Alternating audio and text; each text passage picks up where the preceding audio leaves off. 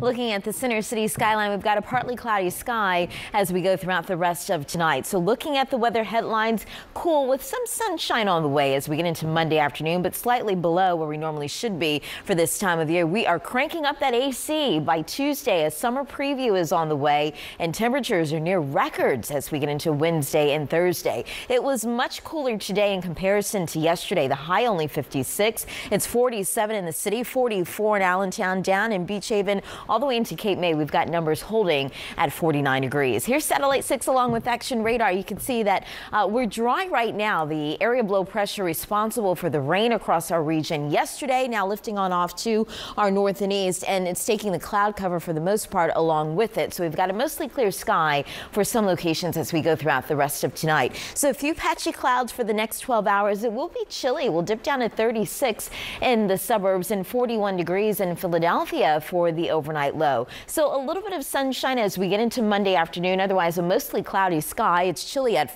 uh, 7 a.m. a temperature of 44, 11 a.m. 51 by lunchtime tomorrow in the upper 50s and then we'll be maxing out in the middle and lower 60s across the region. But as we get into Tuesday and Wednesday and especially on Thursday, uh, Bermuda high sets up across the region. So this is the setup across much of the eastern half of the U.S. We're watching this jet stream that lifts off to our north by then as we get into the middle half of our work week. So we are calling for a summer preview. Temperatures easily climbing into the 70s and 80s and well above where we normally should be for this time of year. In fact, for the middle half of our work week, we are within record territory. We're calling for a high temperature Wednesday of 87. The record is 89 set back in 2010. And on Thursday, 89 is our forecast high. And we're calling for the record, which was 90 set back in 2001. Would not be surprised on Thursday if we hit 90 or just a couple of degrees above that. So we are set to sweat this weekend. Many locations Here's the exclusive AccuWeather 7 forecast.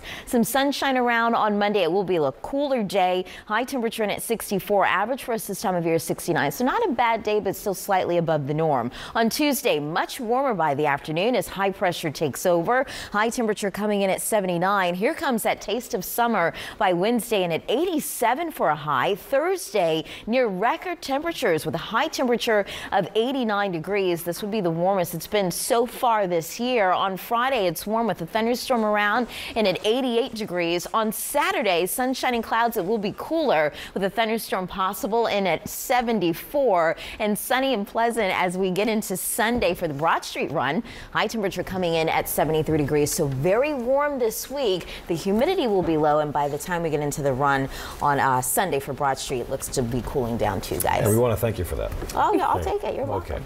Thank, thank you, Melissa. You got it.